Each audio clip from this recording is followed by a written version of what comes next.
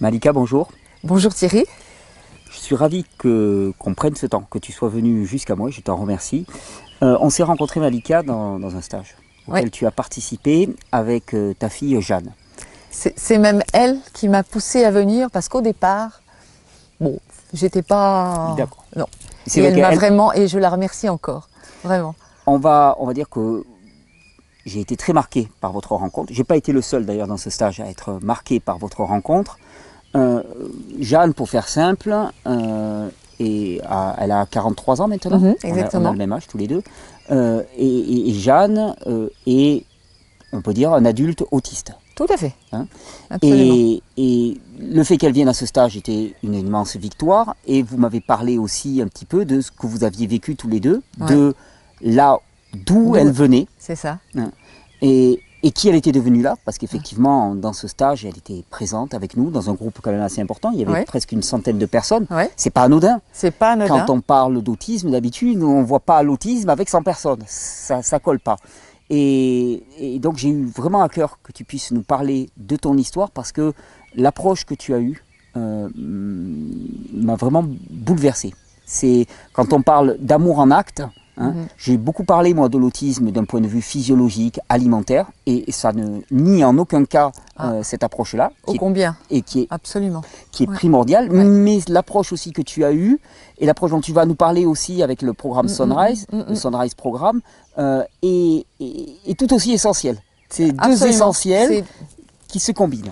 Absolument. Est-ce que Et tu peux nous raconter un petit peu ce que- ton histoire avec, euh, avec Jeanne? Eh bien, écoute, oui. Tout d'abord, euh, ben, merci. Merci d'avoir pensé à faire cette vidéo. C'est vrai que c'est une, je pense que c'est une bonne idée. Merci. Et puis, euh, merci aussi On pour ce stage. hein. on démarre bien. Ça a été vraiment magnifique. Euh, je suis pas allée d'une d'une façon très voilà spontanée, mais en tout cas, j'étais très heureuse d'être là. J'ai découvert mm, voilà des choses magnifiques, des belles rencontres, la tienne notamment. Et c'est vrai que j'ai été euh, vraiment très fière de Jeanne parce qu'en fait, elle voulait venir à ce stage et elle l'a fait magnifiquement. Si- euh, en observant, beaucoup de gens ont pu observer qu'elle s'intégrait, mais aussi en travaillant, parce qu'il y a eu des moments où elle, elle avait besoin C'était un un peu plus difficile pour elle. euh, des, des moments où elle avait besoin un peu.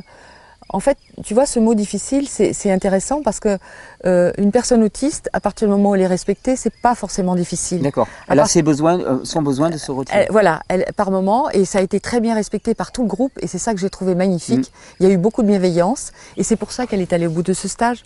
Et c'est pour ça aussi que, souviens-toi, quand tout le monde s'est présenté au départ, Mm. c'est pas quelque chose qu'elle a pu faire puisque c'est moi qui l'ai fait pour elle. Mhm. Par contre, à la fin du stage, toute cette bienveillance, Exactement. elle a pu se lever, parler à toute l'assistance et ça s'est fait naturellement. Parce que toute la semaine, elle a été euh, incluse, Mhm. intégrée, écoutée.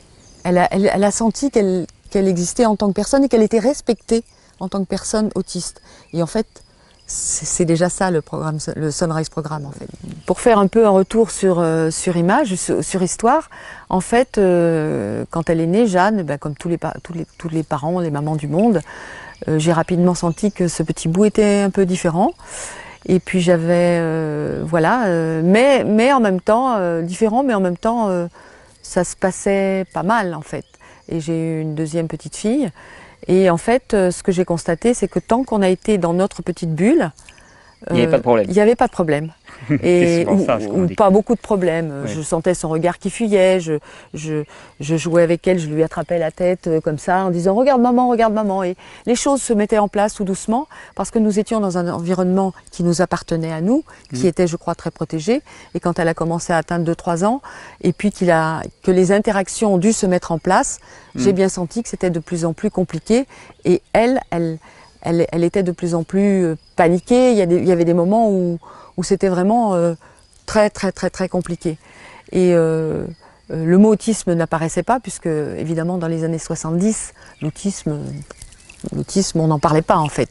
Oui, Euh, je l'ai montré à des psychologues, je l'ai montré à des médecins, à des psychiatres, et jusque ses- vers ses 7-8 ans, euh, elle, est allée à l'école quand même avec beaucoup de difficultés. J'imagine. Ça a été mais épouvantable parce que euh, elle passait son temps toute seule dans, Oui, un dans- dans un décalage, coin. Il y avait vraiment, un- ça pre- il y avait des, des proportions, ça prenait des proportions très compliquées. La chance qu'on avait, c'est qu'on était à la campagne Mhm. et que malgré tout, il y avait une espèce d'adaptation, mais c'était c'était vraiment très compliqué. Et, et en fait, ce que je me suis rendu compte, c'est que quand je prenais le temps, quand, quand je quand je prenais la- le temps de, de, de m'adapter, De rentrer dans son temps à elle, voilà, de rentrer dans son temps à elle, son rythme. de son rythme, euh, ça se passait mieux. Et puis je me rendais compte aussi qu'il y a des moments où moi j'étais mal, où je paniquais, où je comprenais pas, où, où même je lui en voulais, mais je me disais mais elle le fait exprès, qu'est-ce qui se passe? Mais euh, voilà. Et donc euh, euh, elle vivait au rythme de, au rythme de, de mes, mais c'est assez particulier parce qu'elle elle vivait au rythme de mes paniques. Elle avait ses propres paniques, mais elle prenait comme une éponge les miennes, Oui. Puis ta réponse à ses propres paniques, euh, n'était pas adaptée, voilà, et donc induisait la- l'accélération suivante. quoi. l'accélération suivante. Et donc, euh, euh, pourtant, peu à peu, il y avait sa petite sœur qui, au milieu de tout ça, euh, faisait comme elle pouvait. Et c'était, c'était, euh, c'est- c'était quelque chose d'assez, d'assez compliqué. Ce que je me rendais compte, c'est que plus, plus, elle- plus on devait sortir, plus elle devait aller à l'école, c'était l'environnement qui était, euh, qui la, qui la rendait ainsi. Hmm. Puisque chaque fois qu'on était entre nous, elle arrivait à s'apaiser. Et alors, pour, pour me décrire les choses bien, Jeanne, à cette époque-là, euh, elle parlait, elle échangeait. Comment ça se Alors ou- oui, euh, à cette époque-là, la, la parole s'est mise en route. Mhm. Euh, euh, elle était souvent euh, moins moins comment moins moins parlante peut-être à l'extérieur, Mhm. mais elle parlait elle parlait avec sa sœur, avec moi, ça allait bien. Et plus on est avancé en âge, Mhm. plus elle avait des crises, des crises vraiment de de, de, de panique, d'angoisse.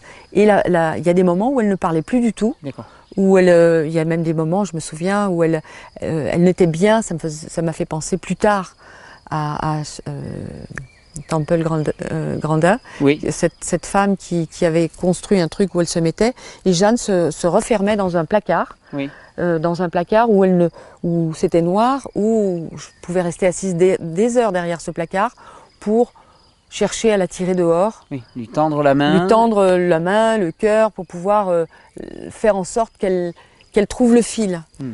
Et je lui disais parfois, euh, euh, tu sais, euh, je, ne- lâcherai jamais ce fil. Et je pense, euh, elle me l'a dit plus tard, c'est que c'est quelque chose qui l'a, c'est comme une lumière dans, le tunnel, cette capacité de dire, je peux compter sur elle, euh, je peux, j'y vais, je veux, je veux sortir de là, parce que son, son, son, ses paniques étaient beaucoup liées avec, c'est vraiment sa non-communication avec l'extérieur. Hmm. Moi, ça me faisait penser un peu, enfin, j'ai toujours des images un peu comme ça. Tu sais, quand on, quand on met un papillon ou une, une- une jolie mouche dans un bocal, quand tu vois la mouche qui se balade euh, là où elle est bien dans son environnement, Oui. Elle, est, elle, elle est elle heureuse. va bien, Oui. elle est heureuse. Mm. Et ma petite fille, elle, et je pense que tous les autistes du monde sont pas malheureux dans leur autisme. Genre, euh, et je l'ai compris plus tard avec le Sunrise, avec programme, euh, Sunrise Programme. En fait, euh, c'est la communication avec l'extérieur qui, Qui pose problème. qui pose problème. D'ailleurs, C'est là, où je me permets de te, te- te couper, c'est là où ça m'intéresse particulièrement parce que, en fait, quand on parle d'autisme, on parle de troubles du spectre autistique. Mhm. Et, et j'avoue que dans mon interaction avec toi, et puis dans ce que tu m'as amené à lire, on va en parler ensuite, euh, j'ai parfois eu des moments de stupeur parce que je me suis reconnu. Et je pense que des troubles du spectre autistique, bien, euh, bon, il y a ceux qui sont déclarés autistes, qui Oui. sont autistes Mhm. avérés, Mhm. mais il y a toutes les nuances. Bien Et- entendu. Et, et moi, je sais que j'ai pu, puis au travers de mon histoire, j'ai interrogé mes parents suite à ça, qui m'ont parlé de certains de mes comportements étant Mhm. jeune. J'ai compris aussi certains fonctionnements que j'avais Mhm. actuellement, des, des- des sphères de ma vie dans lesquelles je suis en échec dans la relation particulièrement, hein, et dans lequel je peux littéralement euh, disjoncter à certains moments. Et, et ça m'a beaucoup rassuré aussi Bien de sûr. me dire c'est pas ma mauvaise volonté, je suis pas non, c'est juste que voilà, il y a, y a- y a une caractéristique et c'est dans la relation et dans l'environnement. Quand l'environnement n'est plus bienveillant, C'est ça. quand l'environnement n'est plus euh, n'a plus la, la, la, qualité de vérité, parce que je suis quelqu'un qui, qui réagit beaucoup à la notion de vérité, quand je sens du mensonge, de la fausseté, ça peut me faire voilà. Et, et je crois que ce, ce- dont tu témoignes là, ça nous touche tous parce que tous plus ou moins, on va avoir cette caractéristique. C'est ça. C'est, ben, peut-être pas tous, mais Oui, en tout beaucoup cas, de gens. il- beaucoup de gens peuvent avoir ces caractéristiques. Ce qui ne veut pas dire qu'elles sont autistes, et ce qui ne veut pas dire qu'elles sont, euh, parce que euh, il y a une différence entre avoir des difficultés, comme tu, comme tu Oui. l'es, comme tu l'es dit, Mais arriver une- à fonctionner. mais tu arrives à fonctionner, tu arrives à t'insérer dans la vie, Mm. et c'est ça, c'est ça le but. Mm. une personne qui est plus loin sur le spectre, elle à, à, un moment donné, euh, elle, elle ne, si elle n'a pas l'aide de l'environnement bienveillant, si elle n'a pas l'aide d'une famille euh, euh, soudée de, de, de, personnes qui sont vraiment allées tendre la main et le cœur pour aller, pour aller les aider à venir dans notre monde, là, ça va pas le faire. Toute mm. seule, elle ne le fera pas. je ne pense pas. On va reprendre le cours de notre histoire, parce que je t'avais interrompu. Euh, tu me disais donc que, Jeanne, euh, plus elle grandissait, plus au niveau de la parole, au niveau du comportement, il y avait des crises de plus en plus, de plus, en plus fréquentes, c'était de plus en plus difficile. Et, c'est là, à ce moment-là, que, j'ai compris que je n'aurais pas d'aide extérieure parce que je l'avais montré à des psychiatres qui voulaient la mettre en, milieu psychiatrique. Donc parce que euh, euh, oui, et puis dire euh, oui, ces crises, elle est, elle, est, elle est coléreuse, elle est dangereuse pour elle, pour les autres. Tous ces elle est coupable. Elle est coupable. Et puis, euh, la mère est coupable, parce que de toute façon... Euh, il y a l'empreinte euh, psychanalytique tout, qui, est, à fait. qui est imprégnée partout dans notre voilà, société. Voilà, donc c'était comme ça. Et à un moment donné, ce que j'ai pu comprendre, ce que j'ai pu observer, c'est que quand, quand, je, quand je me mettais à son, à son diapason. Quand, en moment de crise, par exemple, il y a des moments où elle avait euh, ce que j'ai compris plus tard qui s'appelait des ismes, je ne savais mmh. pas, mais j'ai compris qu'à un moment donné, elle avait des, comme des cris, des cris où elle avait besoin de crier sur un certain degré. Mmh. Euh, et en fait, au départ, ça me faisait peur. Et puis à un moment donné, j'ai compris que ça la soulageait. Oui. C'était une décharge. C'était une décharge. Au contraire, c'était un bon signe. Et que c'était un bon signe. Hmm. Et à un moment donné, je, me suis même dit, parce qu'elle me disait, dis oui, dis oui. Elle disait des, elle, criait comme ça. Et à un moment donné, je me suis dit, dis oui, dis oui, ça veut dire quelque chose. Et je me suis mis à, faire oui, oui, sur le même ton qu'elle. Hmm. À ce moment-là, j'ai cherché comment faire. On était dans la cuisine, je m'en souviendrai toujours. Je pense qu'elle aussi. Et, et en fait, euh, il y avait sa sœur plus, plus jeune qui essayait de, de, de faire aussi. Enfin, c'était assez particulier. Et à un moment donné, quand j'ai eu le bon ton, hmm. j'ai commencé à faire oui. Elle disait oui, je disais oui. On faisait sur le même ton. Hmm. Et presque magiquement, automatiquement, quasiment, elle s'est apaisée. Parce qu'elle a pu trouver là, comme si une porte s'ouvrait, que hmm. on était à l'unisson. On était à l'unisson. Et, et, et, vraiment ça, ça c'est le, c'est le tip top pour arriver au jour d'aujourd'hui, parce qu'on va pas, je, ne hmm. vais pas faire un témoignage que le but n'est pas hmm. là vraiment. Hmm. C'est juste pour dire que cette, cette méthode entre parenthèses que j'ai fait par instinct, cette chose-là que j'ai fait par instinct, rejoindre, d'aller se mettre à l'unisson avec elle. Voilà, c'est quelque chose que j'ai que j'ai pris ensuite l'habitude de faire et qui a marché. Oui, parce que ça, a, mené à, rencontrer Jeanne à 43 ans dans un stage de 100 personnes, euh, avec euh, voilà tout, le, caractère épanoui qu'elle pouvait avoir dans ce stage. Euh, un, peu, un peu avant, ça l'a amené plutôt vers ses 20 ans, où ah, elle a été capable, ça, elle était capable de, de, de, de vivre, de, de, même de se marier, mhm. d'avoir deux enfants. Oui avec, avec les fragilités de, de, vie qu'on a tous dans, dans, dans, dans, une vie maritale et on n'est pas là pour ça, mais il se trouve que parfois la vie fait que c'est très très compliqué. Oui, elle, a été mis, elle a été mise au challenge. Elle a, été mis, elle a été mise au challenge. Au-delà de, ce que certaines personnes normales, entre guillemets, auraient toléré, voilà. et elle a tenu le choc. Et elle, a, elle a, tenu le choc à travers euh, des années de, de, de challenge très compliqués. De combat, oui. De combat. Et, et euh, on s'est rendu compte aussi avec Jeanne que euh, ma capacité de l'aider, de l'accompagner et de, et de faire tout ce que j'ai fait dont, dont, on est fier, dont je suis fière, et de tout ce qu'elle a fait, elle, parce qu'il a fallu que ce soit un travail comme ça. À un moment donné, je ne veux pas dire que c'était un plafond de verre, mais ça ne suffisait pas. Euh, à un moment donné... Il y, avait un, il y avait un palier. Il y avait un palier. Et c'est elle qui, par, par, des recherches, par Internet, un jour, est tombée sur ce euh, euh, Sunrise Programme et qui me dit, maman, c'est ça qu'il me faut. Alors, on, touche le cœur aussi de ce dont je voulais parler, puisque tu m'as parlé de, mhm. cette méthode, le Sunrise Programme. J'ai donc acheté le livre mhm. et j'ai été contacté après avoir, euh, voilà, après avoir pris connaissance du contenu de ce livre et avoir été bouleversé. J'ai mhm. été bouleversé parce que vraiment ce que j'ai lu, je me suis dit waouh, c'est juste l'amour en acte. Ce qui guérit, c'est l'amour en acte. Et alors, sans te couper, quand tu dis l'amour en acte, moi, quand, quand, quand, je suis avec, allée avec elle aux États-Unis pour ce premier start-up, c'était il y a déjà. Donc le pro, la, mise en place du programme la, mise en place du, du, du, programme. Euh, mon anglais n'était pas au top, euh, donc c'était pas encore très très bien. Mais il y avait des traducteurs, il y avait tout ce qu'on voulait, mais bon, c'était pas encore très très bien. J'ai pris les outils. Euh, Jeanne les a pris à bras le corps. Mmh. Vraiment, ça a été quelque chose de, de, de, on peut dire, de superbe. Et on, on a compris que euh, j'ai lu le livre Miracle de l'amour. C'est pas pour rien ce, ce bouquin, parce que ce sont et, et j'ai réalisé à ce moment-là que quelque part aux États-Unis, et il y en a probablement beaucoup d'autres qui ont fait comme ça, c'est-à-dire que euh, Bers et Samaria Kaufmann avaient exactement eu ce, ce chemin-là de refuser, euh, euh, de refuser qu'on qu'on condamne leur enfant, Oui, de fait, de ne pas refuser- céder au de ne désespoir. pas céder ni au désespoir, ni au jugement et à la décision de, des- des psys, des médecins de dire votre enfant, euh, c'est foutu, il faut oublier. Ils ont entendu ces phrases-là, je les ai entendues aussi. Oui, c'est placez-le dans une institution et oubliez-le. Oubliez, faites d'autres enfants, oub- oubliez-le, accompagnez-le le mieux mignon, possible. oui. On va s'en s'en occuper parce qu'ils ont cette, cette croyance qu'ils font bien. C'est ça qui est aussi assez dangereux parce qu'ils ont eu. Hmm. Oui, c'est c'est le plus dangereux d'ailleurs, parce parce qu'ils pensent bien Ils faire. pensent bien faire. Contre les parents même Hein des fois.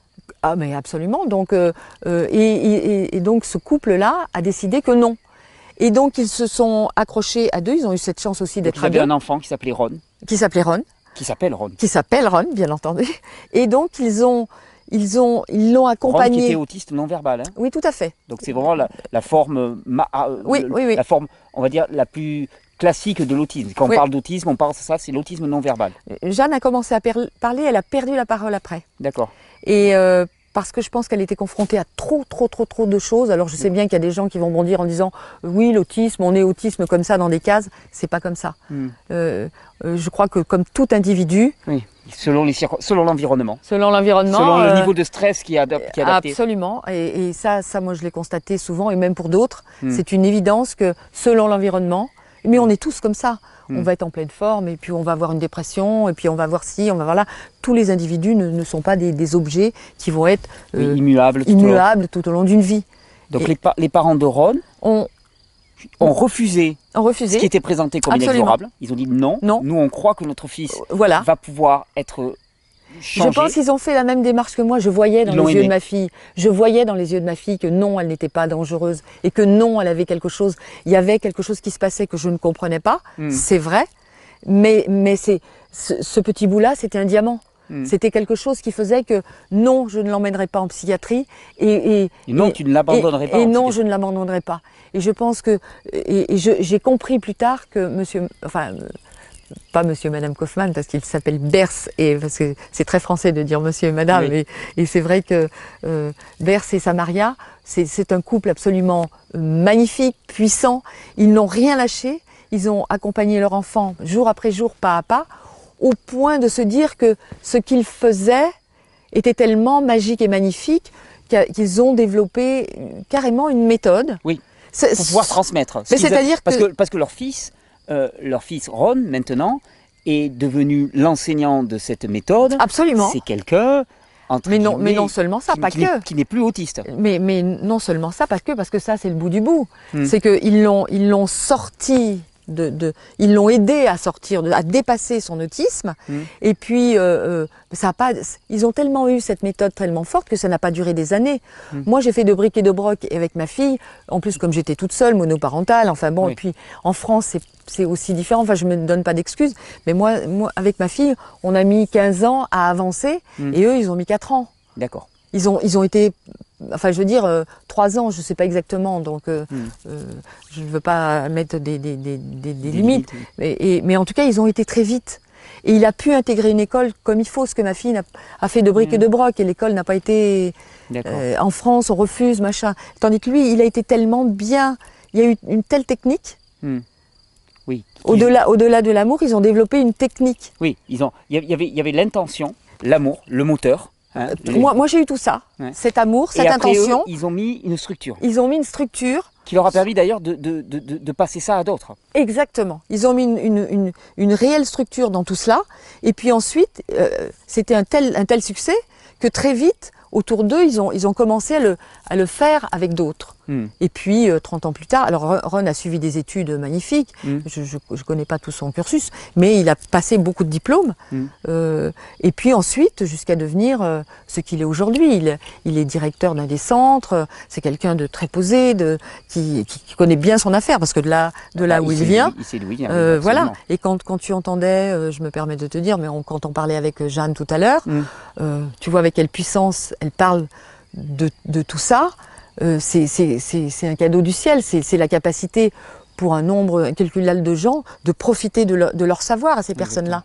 Parce que ces personnes-là, quand elles ont leur potentiel qui viennent à jour, ben, on, on a juste à, c'est comme Oui. dans un magnifique jardin, Oui, on a juste à, ramasser les fruits.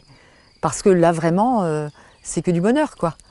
Alors, j'ai été touché hein, par, le, par, le, le- par le livre de Mhm. Ron Kaufman. Et euh, il est. Tiens, je vais le prendre. Christiane. Uh-huh. Je le prends avec moi parce que vraiment, c'est, ce livre m'a beaucoup touché. Ce livre m'a d'autant plus touché, je te dis que j'avais axé toute ma, ma compréhension, mes recherches sur l'autisme, parce que j'ai été, été Mhm. confronté pour des proches et ainsi de suite, sur le volet alimentaire. Et, et en même temps, je, je me rendais compte que même si ça a apporté euh, des, des bienfaits notoires, évidents, euh, incontournables, eh, il manquait quelque chose. Eh oui. Il manquait quelque chose. Et quand j'ai eu ce livre en main, Uh-huh. j'ai dit ça, c'est la, c'est, c'est la clé. C'est Mhm. la clé, c'est la clé qui manquait. Il y a deux clés dans cette porte. Oui. Si tu n'en as qu'une, euh, il faut les deux clés pour que ça fonctionne. Et ça, c'est la clé. Donc je présente ce livre qui s'appelle Dépasser l'autisme avec le Sunrise Programme. C'est ça. Et si je t'ai demandé aussi de venir ici, c'est parce que euh, suite à, à nos échanges, Mhm. j'ai appris que pour la première fois en France, euh, vous alliez organiser un séminaire du Sunrise Programme. Parce que jusqu'à présent, Une il faut aller- formation, en une fait. formation. Ouais. Parce que jusqu'à présent, il faut aller aux États-Unis. C'est Alors, coûteux, voilà, c'est c'est coûteux et c'est compliqué. Et C'est coûteux c'est compliqué. Ces formations, euh, alors il se trouve qu'on a, euh, il n'y a pas de hasard dans la vie. Euh, J'ai fait de très belles rencontres. Euh, On, on- on est quatre mamans euh, av- avec des enfants autistes d'âge différents et euh, quatre mamans qui, qui connaissaient le Sunrise Programme à des degrés différents, qui étaient allées aux États-Unis, qui avaient fait des formations, qui avaient, qui avaient chacune euh, notre par- euh, chacune son parcours. Et puis, euh, on, on s'est bien rendu compte qu'aux États-Unis, il faut y aller. Il y a les billets d'avion, c'est cher. Les formations là-bas sont à des tarifs américains comme les écoles, comme le reste, comme les universités. Aux États-Unis, ça a un coût. Et donc, nous, ce qu'on s'est dit, c'est on va créer quelque chose. Euh, il y a déjà un an et demi, on a créé une association qui s'appelle Optimotisme. Mhm. Euh, et euh, à partir de là, on a proposé à Ron Kaufman l'année dernière de venir voir en France qu'est-ce qui est possible de faire. Il a, il a, il est venu, il a fait le tour. On a, on- il a fait trois jours à Paris. Euh, ou deux jours à Paris, il a fait deux jours à Montpellier, il a fait deux jours à Nantes, et puis euh, il, il a fait le tour comme ça, et les, les salles ont été assez pleines, Mhm. parce que c'était juste une, Petite introduction. une petite introduction, de discuter, et on s'est rendu compte qu'il y avait euh, effectivement une grosse, grosse demande euh, de d'ouvrir les champs des possibles, de d'ouvrir à d'autres méthodes. Il y a déjà des choses qui existent en France, Mm. et, et c'est- très bien pour, euh, pour la plupart des gens, mais il y a des, des, des centaines et des centaines de personnes, euh, d'enfants, d'adultes autistes, et il y a des besoins immenses. Et voilà une méthode qui a marché pour des centaines de gens à travers le monde. Euh, peu, peu encore en France parce qu'il y a, y, y cette barrière de la langue. Et comme Oui. nous le savons, les Français ne sont pas très tournés vers l'anglais. Donc ceux qui parlent anglais ont pu accéder à ça Oui, mais les autres non. et les autres non. Et donc on s'est dit, bah là il y a quelque chose à faire, il y a un challenge à, à, à prendre et il y, a, il y a la capacité de vouloir apporter la capacité à des centaines de gens en France, peut-être milliers, je- je- en tout cas je l'espère pour eux, de, de voilà. Et on a réussi euh, depuis un an à faire traduire ce livre qui était en anglais. On en a fait traduire Ce deux ou livre est trois. fantastique. Ce- rien que le livre Mais, ri- mais est rien, que, voilà, mais rien que le livre La est démarche, déjà la démarche est déjà qui, est magnifique, décrite, qui ouais. est décrite dans ce livre, c'est-à-dire cet élan du cœur Ouais. et surtout cette, cette- ce refus de se résigner. C'est-à-dire que tout te dit ton enfant oublie-le et toi tu dis non, mon enfant je l'aime. Et, et- oui, et, mais au-delà de ça, Oui. euh, ça- ça- voilà, au-delà de ça, c'est c'est vrai, c'est vrai, mais plus loin encore, c'est non seulement, mais euh, cet enfant-là, il est bien tel qu'il est. Oui. Oui. Cet enfant-là, il, il est autiste, comme toi, tu es, tu, tu es des Pyrénées, comme toi, tu es de, Mm. il est tel qu'il est. Je l'aime tel qu'il est, et je l'accompagne là où il est, Mm. parce que euh, tel qu'il est, lui, il, il s'aime. Tel qu'il est, lui, il, Oui. il est bien avec lui-même. Là, là où ça coince, c'est quand il y a l'interaction qui Oui. doit rentrer. Oui, ça je l'ai observé de multiples fois. C'est quand, quand l'interaction doit se faire. Et plus l'interaction est, l'interaction de plus en plus compliquée quand, quand l'environnement n'est n'est pas bienveillant. on revient à ce qu'on Donc on qu'on reparle d'environnement. On reparle parle d'environnement. Donc l'idée, c'est de, de, de, de pouvoir euh, euh, toucher les, les- les- la plupart des familles et surtout le- leur faire, leur faire penser que non, ce n'est pas de leur faute. Euh, non, il n'y a pas, il y a ni à le culpabiliser, ni à se dire il faut des professionnels.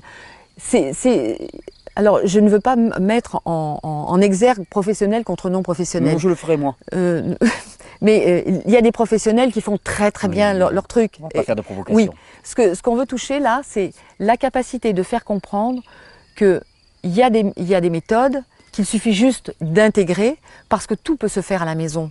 La Mm. plupart des choses, Mm. la plupart Des de outils extrêmement puissants. des- des outils puissants, quand les, quand les parents s'y mettent, quand la fratrie s'y met, eh bien, déjà, beaucoup de choses se font comme ça. Vraiment. C'est ça qui m'a beaucoup touché aussi. C'est de se dire, c'est familialement, Oui. collectivement, ça. communautairement, que on, on- on s'occupe, C'est ça. on s'occupe de cette personne, on l'entoure et, et- et on rentre en communication avec ça. elle. Au lieu de la stigmatiser, de la rejeter et de la cacher dans un coin, au contraire de dire. Et puis, je- je- il me semble aussi de ce que j'ai compris, tu m'arrêteras si c'est faux, mais que ces personnes-là interrogent aussi leur environnement. Quelque part, c'est presque, on parle des, des canaries, tu sais, dans les Mhm. mines, tu sais, qui révèlent, hein, qui révèlent le danger. Mhm. Et, et ces personnes-là aussi révèlent, Ah révèlent quelque chose de leur environnement qui est complètement faux, dans lequel une personne normale va arriver à s'arranger à coup de petits, de petits stress, et ces personnes-là ne supportent pas. Elles, elles- souvent, elles n'ont pas de filtre. Et voilà, elles vont Elles le révéler. Elles n'ont Et, pas de et au lieu de les rejeter, C'est je, je crois que vraiment la démarche qui est proposée, c'est de sortir de la logique symptomatique dans laquelle on voit un symptôme, on lui tape dessus, on essaie de le supprimer, Exactement. et là de vraiment réfléchir en termes de terrain, de dire cette personne manifeste quelque chose, Voilà. qu'est-ce qu'elle me dit sur moi-même, Mhm. sur mon environnement, et, et comment, en la rejoignant, je vais pouvoir comprendre aussi, et c'est un chemin d'évolution à deux, à trois, communautairement. Et ce qu'on comprend euh, à travers ce livre, ce que moi j'ai mis des années à, à- à- à comprendre parce que je n'avais, je n'avais, j'a- j'avais cet amour inconditionnel, j'avais cette manière de, de- de- d'aider ma fille, mais il y a quelque chose que je ne comprenais pas, c'est, c'est qu'il faut non seulement aimer, mais il faut aussi, euh, comment dire, il faut aussi aller, aller chercher la, la personne avec euh, une, une manière d'être où on a, on a pu faire un travail sur soi. Oui. Et ça, ce travail sur soi, j'ai mis des années à le, à, à le faire en fait. Mm. Un travail sur soi qui dit quoi? Qui dit je, je, je, je- je veux aider mon enfant, si je veux l'aider, je dois apprendre moi à être centré. Mm. Parce que cet enfant-là, il a des radars, Ouais. il sait tout. Ah c'est- Il, il a, il, a, il, a une capacité de télépathie, mais c'est pas explicable. Hmm. Mais n'empêche que tous les parents qui vont écouter ça, ils vont dire ah ah, tous les parents le vivent, le savent. Hmm. Donc cet, en- cet enfant-là, cet adulte-là, je dis enfant, on a tous, sont tous nos enfants, sachant que c'est pour tous. Mais ils ont cette capacité de brrr.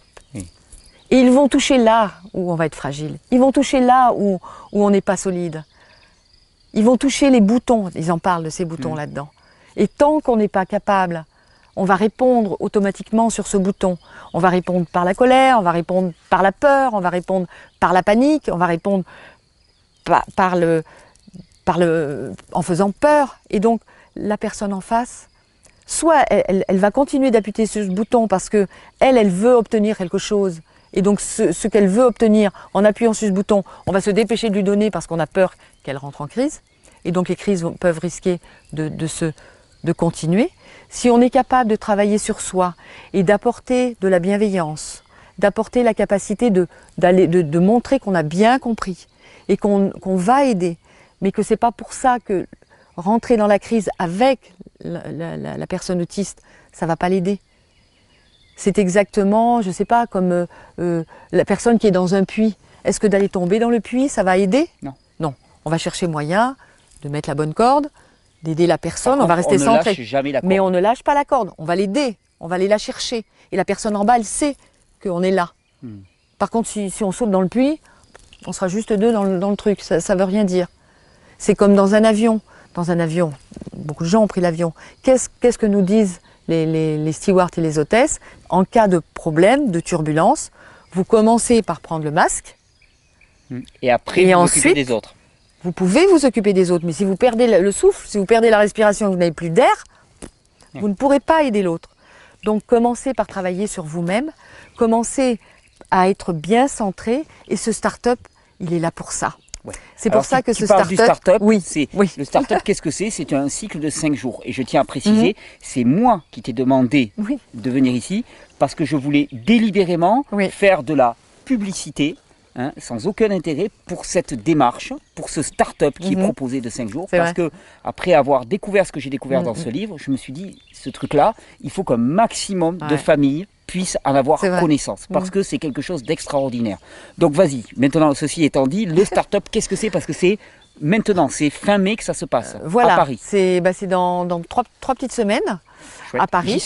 On- la, la- mairie du 16e nous a offert euh, toute la place voulue.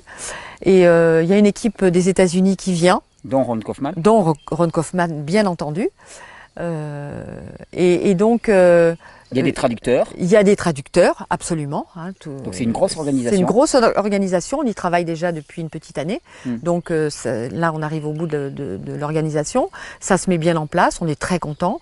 On a déjà plus presque 90 personnes inscrites. Excellent. Donc le but, c'est pas de faire de la publicité pour que parce qu'on a personne, pas du tout. Non, non, mais pour que les personnes juste- qui pourraient être intéressées Voilà, l'idée, c'est plutôt d'ouvrir le champ des possibles à des personnes qui pourraient dire après Oh mince, je l'ai pas su. Oui, parce que mince, c'est la première fois en France. je- voilà, c'est la première fois en France et que c'est vrai qu'on en parle sur le- les réseaux sociaux, c'est vrai qu'on en parle autour, mais peut-être que effectivement ta proposition de pouvoir le mettre là comme ça, euh, vraiment, ça, ça va peut-être permettre à des personnes qui n'en avaient pas eu connaissance de se dire, de faire le choix, de se dire ah ça m'intéresse, je vais aller voir, Hmm. parce que vraiment ça, ça s'adresse aux parents, ça s'adresse aux professionnels, ça s'adresse à l'environnement, ça s'adresse aux fratries parce que ça commence par là.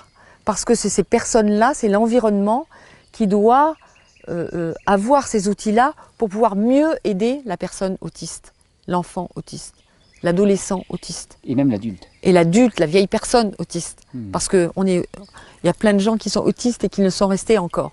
De- pour le but de quoi? De dépasser ces critères-là, de dépasser cet autisme qui, qui, qui, qui, qui fait que tout un tas de critères qui empêchent d'avancer. Que cette communication souvent différée empêche la personne de bien vivre. Parce qu'il n'y a pas de doute, quand elle est toute seule, la personne chez elle, quand elle est dans son petit monde, elle va bien. On peut rassurer les familles, elles sont pas, c'est pas, c'est pas le grand désespoir et tout ça. Il y a des crises quand, quand l'environnement ne va pas. Hmm. Et donc la personne ne peut pas rester toute sa vie fermée dans sa bulle. Même si elle y est bien, dans sa bulle, elle y est bien. Mais le but n'est pas qu'elle reste dans sa bulle. C'est important qu'elle sorte de là. Lui offrir la possibilité. Il faut lui offrir la possibilité de sortir parce que de toute façon, un jour on sera plus là parce qu'on pourrait protéger la bulle. Hmm. On pourrait dire, il est bien dans sa bulle, moi je protège la bulle, et puis, euh, puisque le, euh, le petit il a ses Lego, il joue tout le temps, machin, il fait son truc, le plus grand il a son, ses focus, ses trains, ses machins, euh, euh, voilà, chacun, ils ont tous leur, leur truc, ok. Sauf que c'est pas le but de la vie. La, vie, il faut aller dans la vie, il faut aller dans le monde Avoir la liberté de le faire. avoir la liberté de le faire. Parce que pouvoir rester chez soi quand on le choisit, quel bonheur. Quand on est coincé dans, dans ce truc, Hmm. Parce, parce qu'on n'arrive pas à... parce qu'on sait que de l'autre côté c'est trop, ça panique et qu'on préfère rester là pour être plus calme et non stressé, ça c'est pas. Non, c'est de l'esclavage. voilà, c'est pas possible. Et, donc les- c'est les familles, quand les familles, elles, elles, elles, comp- elles- elles arrivent à, à- à admettre, à comprendre tout, tout comment ça fonctionne. Et ce stage, ce n'est pas un stage, c'est une- vraiment une formation pendant cinq jours avec des ateliers, avec des, une personne, Ron, qui, est- qui, qui était non-verbale, Hmm. qui a eu cette méthode avec des parents qui ont développé ça, avec des, des- des personnes qui, qui sont là pour, pour faire des ateliers avec, pour expliquer, pour, en, pour, pour accompagner, et avec les- des, des- des familles entières qui vont, des personnes, des- des- toutes les familles qui vont pouvoir. Il y a des couples, des conjoints qui se sont ins- inscrits. Il y a des gens qui sont viennent, qui sont inscrits. Il y en a même qui viennent d'Afrique. Il y en a qui sont inscrits des pays de l'Est. Il y en a qui viennent de partout. Et qui, euh, on, va créer quelque chose qui fait que il y a les questions qui vont se poser. Il y a des ateliers qui vont se faire.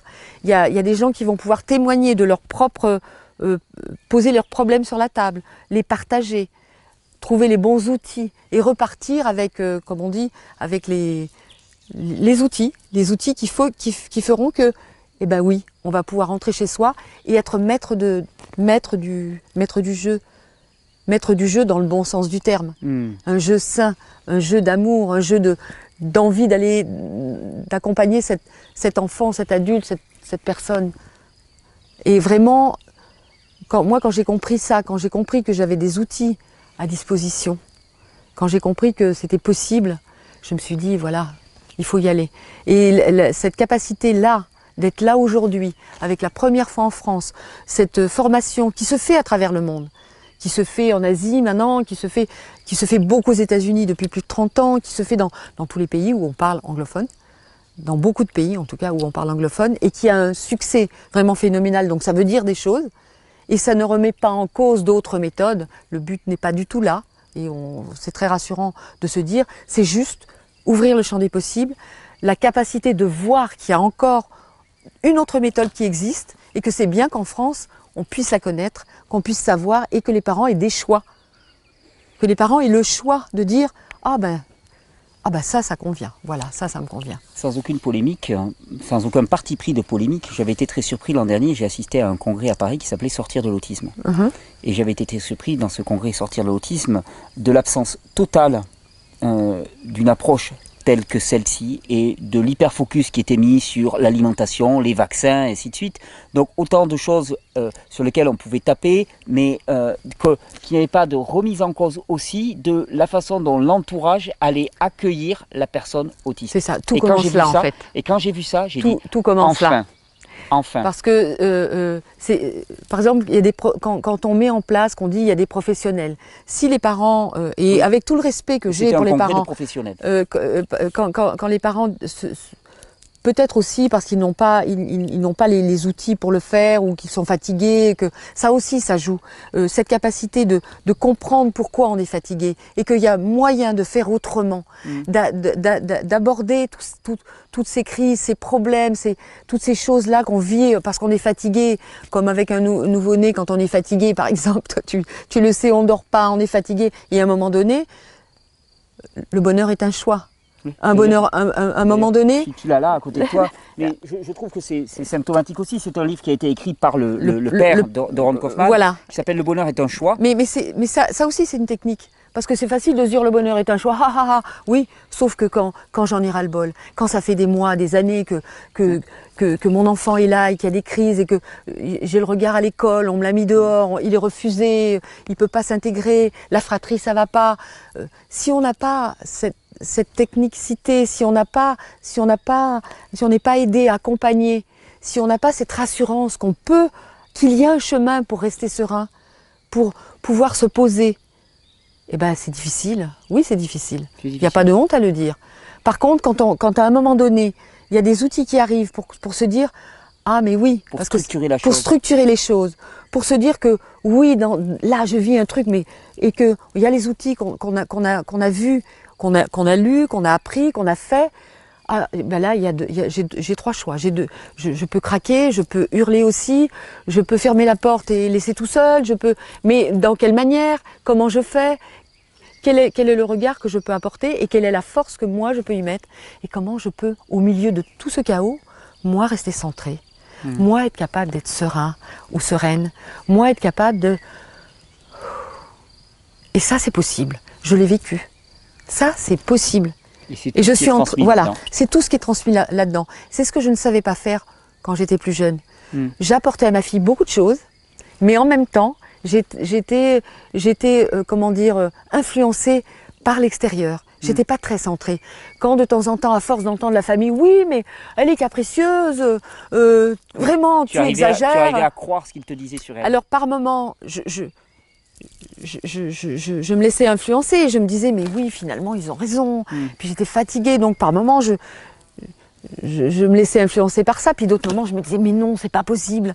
C'est pas ça, c'est pas ça. Donc je, me remettais dans, dans l'amour inconditionnel et dans l'aide et tout ça. Et donc, cette petite passait beaucoup de temps là. Là, avec ça, quand j'ai rencontré les Kaufmann, quand mm. je suis allée aux États-Unis, je me suis dit, mais bon sang, mais c'est bien sûr. Parce que c'est là, c'est ça qui me manquait cette, cette technique-là, cette manière-là d'être tranquille. Et quand on lit ces livres-là, quand on lit tout ça, alors c'est facile de dire oh, le bonheur est un choix, hein, hein, hein. sauf que là aussi ce sont des, ce sont des, des prises de conscience. Ah, c'est un, choix radical, c'est un choix de courage, c'est un choix de courage absolu. Et puis, et puis c'est un travail sur soi. Hmm. il faut être, faut être accompagné aussi pour ça. Faut faire, faut avoir la capacité de faire des dialogues avec des personnes de, de, de métier, de, de gens qui connaissent tout ça, pour que pour qu'on puisse se remettre sur rail avec sérénité, avec joie, avec enthousiasme. Et cet enthousiasme et cette joie et cette générosité, ça se prend pas de nulle part. Ça se prend où? Ben, ça se prend là. Dans le cœur, directement. C'est même pas là. Non, c'est pas dans les La technicité, oui, euh, mais, mais là, tout ça, on l'a là. Le ferment, il est là. Le ferment, il est là. Mais le ferment, il faut le nourrir. C'est comme un talent. Il y a un talent qui nous est donné. Hein, et puis il est de notre responsabilité de le travailler, de le cultiver. C'est ça. Parce que si on se contente de son talent, et eh bien rapidement ce talent, ben, il peut, il peut pas donner grand chose. Il a pas. Je connais des centaines de parents qui ont ce talent-là. Moi, j'en rencontre des mamans. On a créé un café Asperger. Euh, euh, je fais un coucou à tout le monde en passant. Euh, avant d'Argue, euh, qui, qui, qui, prend de l'ampleur. Maintenant, à chaque fois, on est une vingtaine, et on voit bien. Je, je, je rencontre ces mamans et ces papas qui sont fatigués, qui mm. me, qui, qui, qui, disent des choses comme ça, et en même temps, quand on, quand, rien que le fait de se nourrir entre nous, d'y mettre de la, de la, joie, de la générosité et de rire ensemble de ces choses qui parfois nous, nous, peuvent nous faire pleurer, rien que ça déjà, cette nourriture-là, on voit bien nos ados qui nous regardent du coin de l'œil là-bas, qui nous entendent éclater de rire, on voit bien que eux, ça leur fait du bien. Mmh. Et que eux, ils sont en train de partager des jeux, et que eux, ils rient ensemble. Parce que ça, tout, tout vient de nous, en fait. Malika? Oui. Oui. Le livre Oui, le livre. Le, le, le, la formation la formation. Je vais mettre toutes les informations en bas de cette vidéo. Toutes les informations sont dans la description. La formation, c'est le 24 mai à Paris. Le 24 mai à Paris. Je vais monter à la capitale. On est déjà à, on est déjà à 90. Euh, il y a encore de la place. Et puis on mettra des, on mettra des, des strapontins. Tu m'as promis que tu me mettais un oui, strapontin. Je te garde un strapontin. Si j'ai oublié de m'inscrire. Si oui, s'il y a, s'il y a meilleur, voilà. Euh, il y, a, de quoi faire de toute façon. Donc, euh, et, je, suis sûre que ça peut apporter encore à des, personnes. Et il y, a des, partages magnifiques à faire. On, a, on, échange beaucoup avec des, tas de familles de partout. Et on voit bien, on voit bien que cette capacité d'être dans, dans, dans, dans, dans cet amour-là, dans, dans ce miracle de l'amour vers l'autre, mais au-delà de ça, dans ces techniques, dans ces techniques qui sont vraiment puissantes, vraiment c'est que du bonheur, quoi. Donc, je te remercie non, de m'avoir rejoint dans mes hautes terres catalanes, d'avoir oh, bravé mais les. quel bonheur Merci, merci de nous avoir accueillis. Les, les, routes et les pistes pour arriver jusqu'à chez oui, moi. Oui, je confirme, piste. Mais vraiment, euh, merci pour que, ce que du bonheur. Merci pour ce Non, témoignage. je t'en prie. Vraiment, merci de nous avoir accueillis.